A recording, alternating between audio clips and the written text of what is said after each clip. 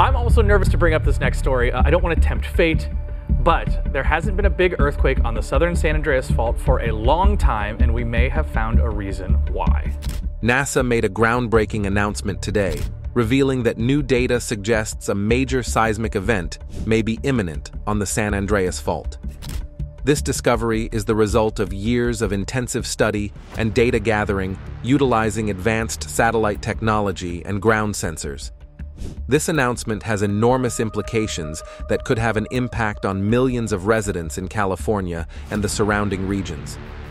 Let's explore the specifics of NASA's investigations, the background and mechanisms of the San Andreas Fault, and the possible repercussions of a significant earthquake along this fault line in today's video a significant geological structure that runs through California for around 800 miles, 1,300 kilometers. The San Andreas Fault forms the tectonic border between the Pacific and North American plates.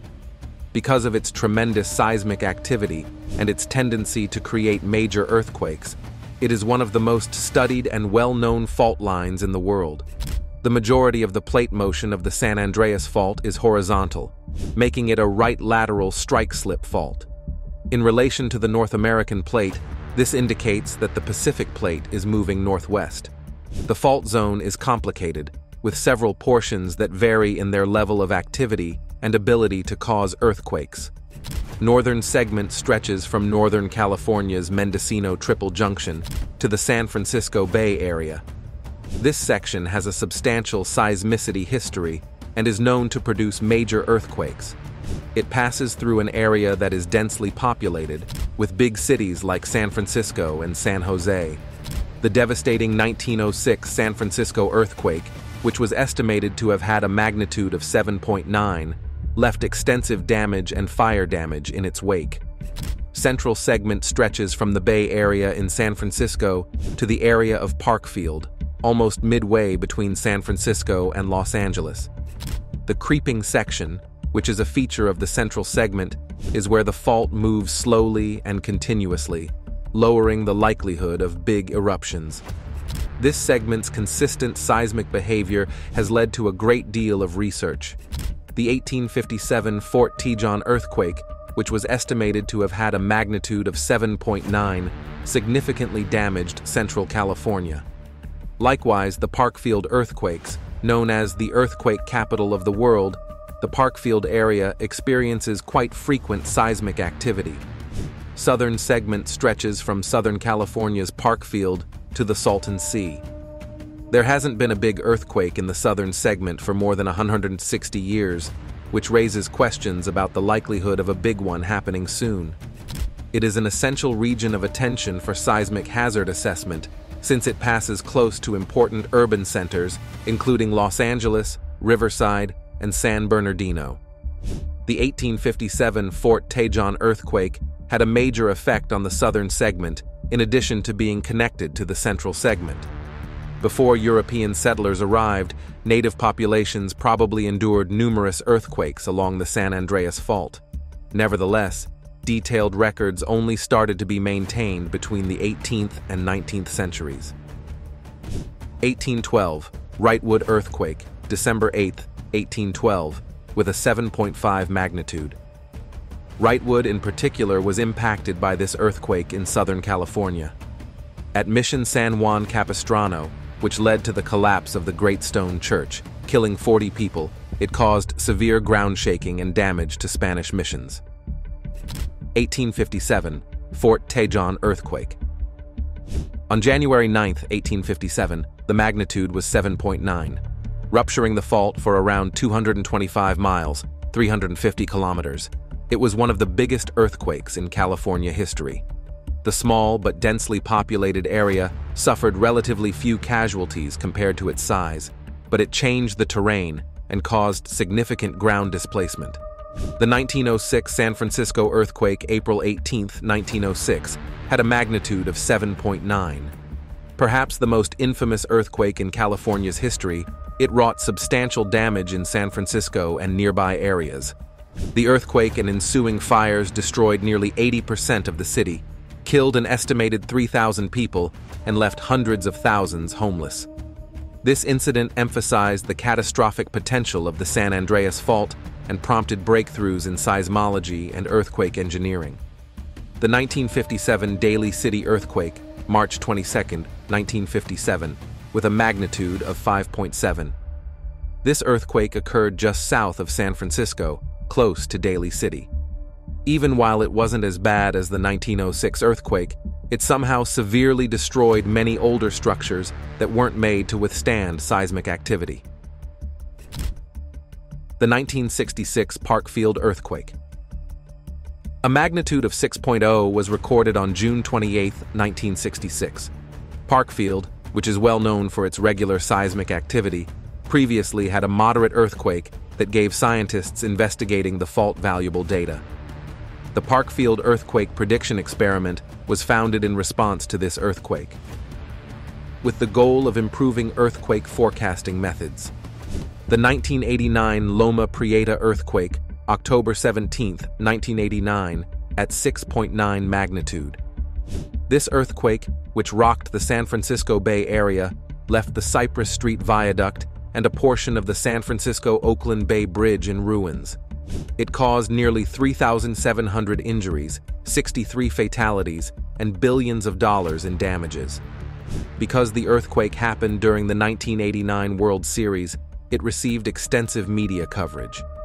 The 2004 Parkfield earthquake, September 28, 2004, with a 6.0 magnitude.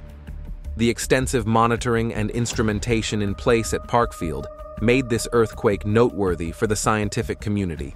It did not result in significant damage, but it did yield important information about the behavior of the San Andreas Fault and the processes leading up to earthquakes. Though there haven't been any significant earthquakes since the Loma Prieta catastrophe in 1989, seismic activity on the San Andreas Fault has persisted in recent years. Smaller earthquakes and continuous stress buildup along the fault segments, however, suggest that there is still a high likelihood of major earthquakes in the future. When it comes to monitoring Earth's geological activity with advanced equipment, NASA has been at the forefront. NASA collects information on the motions and buildup of stress on the San Andreas Fault using a combination of ground-based devices and satellite-based remote sensing. So, what are these? Let's find out. Interferometric Synthetic Aperture Radar, INSAR. NASA uses one of its most powerful instruments, Interferometric Synthetic Aperture Radar, INSAR, to track ground displacement along the San Andreas Fault. This method makes use of satellite radar scans to identify minute variations in the Earth's surface over time. In order for INSAR to function, radar signals are sent from satellites to the Earth, and the time it takes for the signals to return is measured. Scientists are able to identify changes in the Earth's surface on a millimeter scale by comparing radar images obtained at different times. Finding locations of stress accumulation along the fault is one application where INSAR is especially helpful. It is capable of identifying ground deformation brought on by volcanic eruptions, tectonic movements, and other geophysical phenomena. When determining the chance of an earthquake, this information is essential. One of the main sources of INSAR data is NASA's Sentinel-1 satellites, which are a component of the European Space Agency's Copernicus program. INSAR capabilities will be further improved by the planned NASA ISRO Synthetic Aperture Radar NISAR mission, which is a collaboration between NASA and the Indian Space Research Organization, ISRO. Global Positioning System, GPS, networks. In order to keep an eye on the San Andreas Fault, NASA also uses a vast network of GPS stations. The movements of the Earth's surface are precisely measured by these stations. GPS stations are able to determine precise positions because they are able to continuously receive signals from a constellation of satellites. Through monitoring these locations over time, scientists can identify crustal motions on Earth. The speed and direction of tectonic plate movements are determined using GPS data. It assists scientists in determining areas where tension is accumulating and in understanding how stress is dispersed along the fault. This data is essential for determining the danger of earthquakes. The National Science Foundation-funded Plate Boundary Observatory, PBO, is a component of the EarthScope project and consists of multiple GPS stations along the San Andreas Fault. PBO and NASA work together to analyze GPS data for earthquake research. Seismometers. Ground-based devices called seismometers are used to identify and document the vibrations brought on by seismic waves. A network of seismometers along the San Andreas Fault is supported by NASA in order to track seismic activity. Three dimensions of ground motions are measured by seismometers, vertical, north-south, and east-west. The seismometer measures the seismic waves produced by the rupture when an earthquake happens. Earthquakes are located, their magnitudes are calculated, and their sources are studied using data from seismometers. It aids in the understanding of the behavior of the fault and the identification of seismic activity patterns. NASA-supported seismometers are part of two important networks, the Southern California Seismic Network, SCSN, and the Northern California Seismic System, NCSS. Real-time data on seismic activity along the San Andreas Fault is available through these networks. Light detection and ranging, LIDAR, High-resolution maps of the Earth's surface are produced using a remote sensing technique called light detection and ranging, or LIDAR, which employs laser pulses. NASA studies the topography of the San Andreas Fault Zone using LIDAR data. LIDAR devices measure the time it takes for laser pulses to return after they are emitted toward the Earth. Detailed three-dimensional maps of the terrain are made using this data. Scientists can quantify surface deformations, locate fault traces, and examine the geomorphology of the fault with the use of LiDAR data. It is especially helpful in identifying minute details that can point to tectonic activity. High-resolution topographic data has been gathered by surveying the San Andreas Fault using NASA's Airborne Topographic Mapper, ATM, and other LiDAR-equipped aircraft ground-based radar interferometry. High-resolution measurements of ground deformation over smaller areas are provided by ground-based radar interferometry, which is a complementary technique to satellite-based INSAR. Ground-based radar interferometry works similarly to INSAR in that it measures the signals returned by the radar after they are sent to the ground. Tripods or other structures are usually used to mount ground-based systems. Using this method, particular locations along the San Andreas Fault, such as places of known deformation or vital infrastructure, are monitored. It offers precise readings that may be used to identify early indications of fault movement. Targeted places are equipped with ground-based radar devices, such as those created by NASA's Jet Propulsion Laboratory, JPL, to continuously monitor the fault. Advanced computer models and algorithms are used to integrate and analyze the data gathered from these many monitoring systems. By using an integrated approach, scientists are able to recognize trends, evaluate dangers, and create early warning systems. The most recent NASA release is predicated on a thorough examination of the information gathered from these powerful monitoring methods. The results indicate that stress accumulation has significantly increased along several sections of the San Andreas Fault, especially in the southern section close to Los Angeles. The probability of a significant seismic event along the San Andreas Fault is elevated, as indicated by several important indicators. The southern length of the fault exhibits high stress accumulation, as indicated by data obtained from GPS and INSAR networks it is possible that the fault is locked and holding on to elastic strain energy that could be released in a future earthquake because there hasn't been a significant earthquake in more than 160 years. Ground deformation patterns seen in INSAR data are compatible with the accumulation of tectonic stress.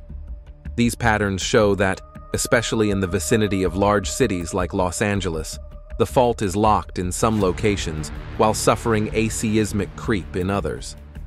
Microseismic activity is increasing along the fault, according to seismometer data. Although there is no immediate danger from these minor earthquakes, they could be a sign of shifting stress levels and the possibility of a bigger seismic catastrophe. Likewise, along the fault, LiDAR studies have revealed minor topographic changes as well as new surface faulting. These characteristics help improve simulations of how the fault might behave in the future by supplying proof of previous seismic activity. So, what actually happens? When San Andreas releases the big one, and could the catastrophe depicted in the film San Andreas possibly occur? A 9.0 magnitude earthquake is caused by the San Andreas Fault in the movie. Andreas Fault are a crucial reminder of the importance of staying informed and prepared for potential seismic activity. If you found this video insightful, make sure to give it a thumbs up and share it with your friends and family to help spread awareness. Don't forget to hit the subscribe button and ring the bell icon so you never miss an update from our channel. We bring you the latest news and insights on science, technology, and more. Let's stay informed and prepared together. Thanks again for tuning in, and see you in the next video.